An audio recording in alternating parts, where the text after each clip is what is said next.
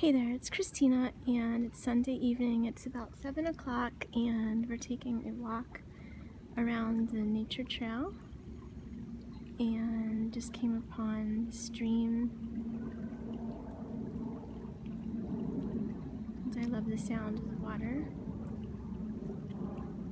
And I was hoping to see some deer drinking from it, but I don't see any. This is usually the time of evening they come out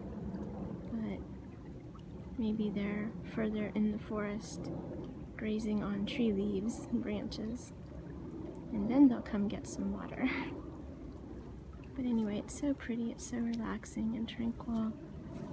I know people actually purchase CDs for the sound of water.